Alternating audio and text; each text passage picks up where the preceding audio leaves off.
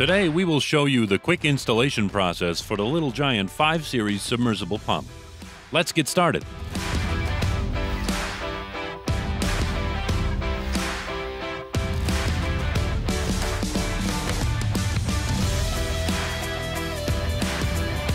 Connect a garden hose using the 3 4 inch garden hose adapter or connect a 1 inch male NPT threaded pipe or hose directly to the 1 inch female NPT discharge port.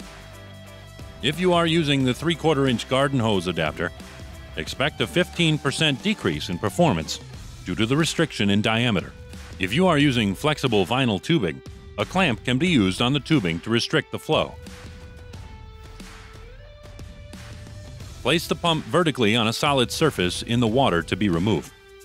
The water should be at least 3 quarters of an inch deep. The pump should be totally submerged for proper cooling when operated for extended periods.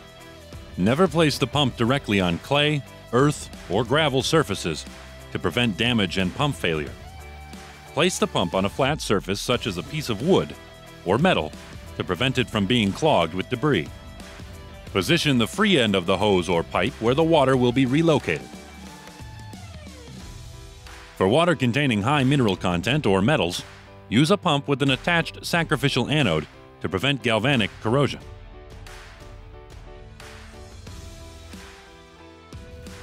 Before plugging in the pump, reference the following electrical considerations. Check the pump label for proper voltage required. Do not connect a voltage other than that shown.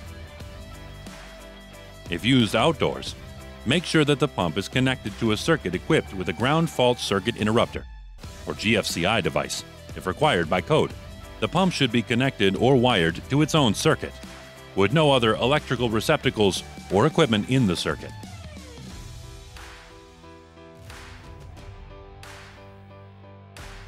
The fuses or circuit breakers should be of ample capacity in the electrical circuit. And lastly, if a fused type plug is used on 230 volt units, a 5 amp fuse is recommended.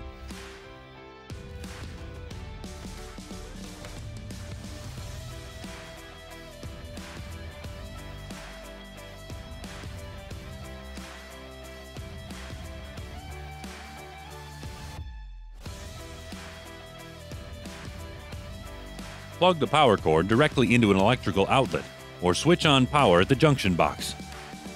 Confirm that the pump is functioning as intended. To help reduce cleanup time, the 5 Series MSP with a screen will remove water within 1 8 of an inch. A pump without a screen will remove water within 1 16th of an inch. Finally, unplug the unit as soon as the pump stops pumping water or the suction sound changes to prevent the pump from running dry.